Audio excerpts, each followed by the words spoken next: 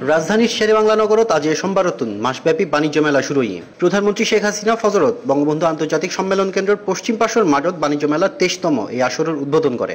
বাণিজ্য মন্ত্রণালয় ও রপ্তানি উন্নয়ন ব্যুরো যৌথভাবে এই মেলার আয়োজক। থাইল্যান্ড, ইরান, তুরস্ক, শ্রীলঙ্কা, মালদ্বীপ, নেপাল, চীন, মালয়েশিয়া, ভিয়েতনাম, যুক্তরাষ্ট্র, যুক্তরাজ্য, Bharat, Pakistan, Hong Kong, Singapore, Mauritius ও দক্ষিণ কোরিয়া সহ সতেরো দেশের তেতাল্লিশশো প্রতিষ্ঠান এবার মেলাত অংশগ্রহণ করেছে। এবার পাঁচশো উনানব্বই বিভিন্ন ক্যাটাগরির প্যাভিলিয়ন ও স্টল লইনে মেলা প্রাঙ্গণ সাজানো হয়ে।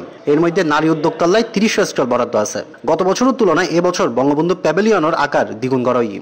মেলার সার্বিক নিরাপত্তালায় মেলা প্রাঙ্গণত একশো সিসিটিভি ক্যামেরা লাগাই। ঢাকা মহানগর পুলিশের নিয়ন্ত্রণ কক্ষতুন সিসিটিভি পর্যবেক্ষণ করার। একত্রিশ জানুয়ারি পর্যন্ত প্রত্যেকদিন সকাল দশটার তুন, রাত দশটা পর্যন্ত এই মেলা উন্মুক্ত থাকব প্রবেশ টিকিটের মূল্য প্রাপ্তবয়স্ক অললায় ত্রিশ টিয়া এবং অপ্রাপ্তবয়স্ক অললায় বিশ টিয়া।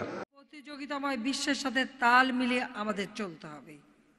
সেদিকে লক্ষ্য রেখেই আমি আমি ব্যবসায়ী যারা বা শিল্পের মালিক তাদের একটা কথা বলব যে আপনাদের শুধু নিজেরা আর্থিক সচ্ছলতা আনলে হবে না। সাথে সাথে মানুষের ক্রয় ক্ষমতাও বাড়াতে হবে।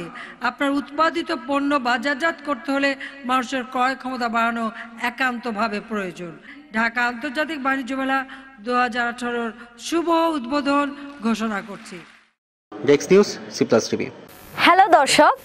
ভিডিও ইভেন নিচে সাবস্ক্রাইব লাহা উগা লাল বাটন আছে। ইবেত ক্লিক করুন আর সাবস্ক্রাইব করুন আর ইউটিউব চ্যানেল আর সাগাই হতা হই